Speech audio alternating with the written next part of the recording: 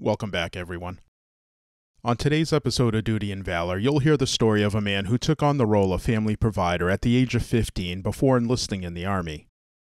A man who worked hard to recover from wounds that were so severe he had been told he would never walk again. A man who acted without authorization and jumped onto a helicopter to rescue fellow Green Berets. This is the story of Medal of Honor recipient U.S. Army Master Sergeant Roy Benavidez.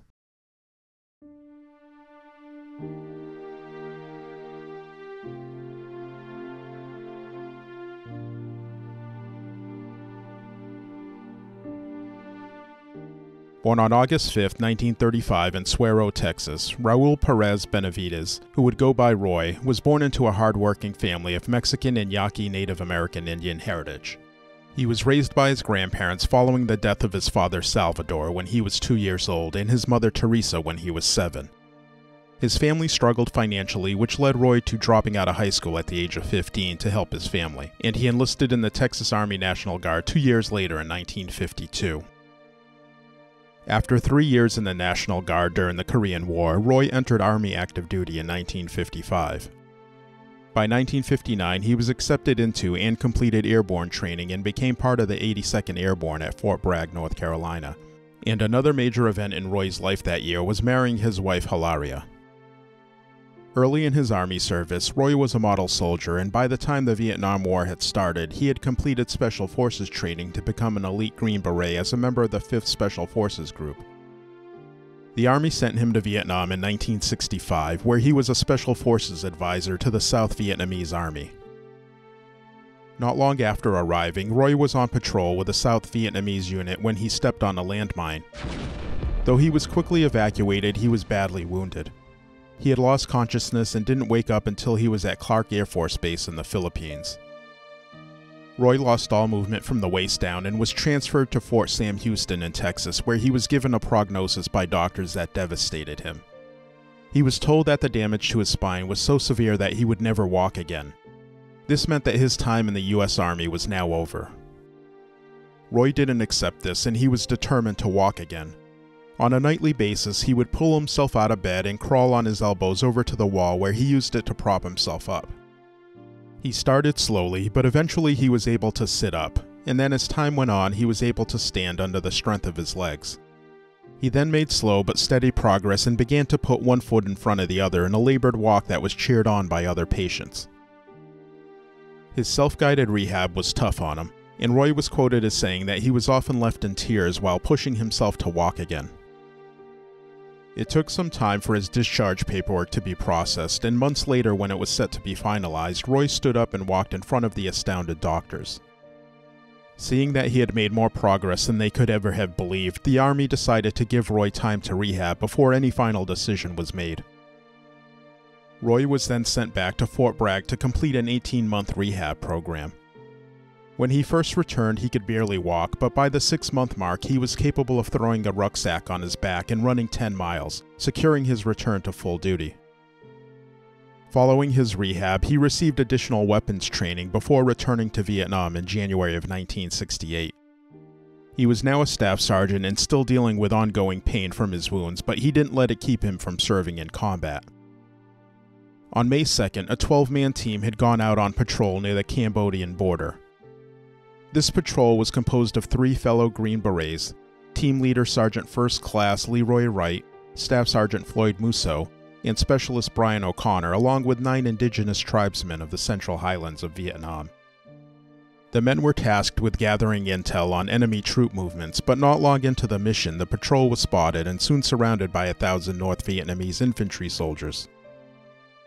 As Roy left Mass that morning, he was walking by a communication tent when he heard the call for help come over the radio. Three helicopters had already attempted but failed to rescue the men. He heard that the helicopters were going to attempt another rescue, so he acted quickly and without authorization. With the words I'm in, Roy grabbed a medical bag and was armed with only a combat knife on his belt when he jumped on a departing helicopter piloted by Warrant Officer Larry McKibben. They made their way to the men, but McKibben couldn't safely land. Roy told him to hover as low as he could, and when the helicopter was at a safer height, Roy jumped out and raced toward the pinned down patrol. He raced across 75 yards of heavy enemy fire and was hit in the right leg, and a grenade sent shrapnel into his face and head. Though injured, he took command of the situation and began to plan their evacuation. He picked up an AK 47 from one of the tribesmen that had been killed and engaged the enemy as he helped direct the rescue operation from the ground. On his command, the helicopters moved into position to attempt the men's extraction. Roy led a group of men who were able to walk to an awaiting helicopter, all while firing back at the enemy. He then directed another helicopter to where the remaining injured men were, and he laid down suppressing fire as they loaded the men. The enemy forces continued to concentrate their fire on the helicopters and the men on the ground. McKibben's helicopter was attempting to depart when he was shot and killed. His helicopter overturned and fell to the ground with the injured men aboard. At the same time, Roy was hit in the stomach by an enemy round, and another grenade detonated nearby, this time hitting him in the back. Even though he was severely wounded, Roy made his way back to the crashed helicopter and placed the survivors in defensive positions before radioing for help. He called in air support and guided strafing runs on the enemy. He also communicated that they needed close air support by helicopter gunships to allow other rescue attempts. While waiting on another helicopter, he was hit again by enemy rounds. They were eventually able to land, and Roy carried wounded men over to the helicopter. During his rescue of the men, he also gathered or destroyed all classified material that the recon patrol was carrying. While loading one man into the helicopter, an enemy soldier came up behind Roy and used his rifle to club him in the jaw. The soldier then stabbed Roy with his bayonet, before Roy removed it and used his own knife to kill him. With that knife still in the man's body, Roy returned to aiding the others onto the helicopter. He had to periodically stop and engage enemy soldiers who were trying to kill the pilot, doing all this while using one hand to keep in his intestines. Roy resisted all attempts to get him onto the helicopter until he knew all men were aboard and he had secured or destroyed all of the classified material. Once he was assured he did all he could, he was pulled onto the helicopter. In total, Roy was on the ground for what was called six hours in hell, where he sustained 37 bullet, shrapnel, and bayonet wounds, but he was credited with saving the lives of eight men. After getting on the helicopter, he fell motionless due to his injuries and pure exhaustion. Shortly after landing, he was laying down, still motionless, when he felt himself being placed into a body bag. He was in such bad shape and suffering from so many wounds that everyone thought he had died. He couldn't move or talk, but in what he called his luckiest shot, he was able to spit in the doctor's face to show him he was still alive. He returned to Fort Sam Houston, recovered from his wounds, and stayed in the Army until he retired in 1976 at the rank of Master Sergeant. Though he was awarded the Distinguished Service Cross for his actions that day, it actually took years before he would get our nation's top award. On February 24, 1981, President Ronald Reagan bestowed the Medal of Honor upon Master Sergeant Roy Benavidez. He lived until the age of 63 when he died on November 29, 1998, and he is buried at the Fort Sam Houston National Cemetery. Thank you for listening to this episode of Duty and Valor.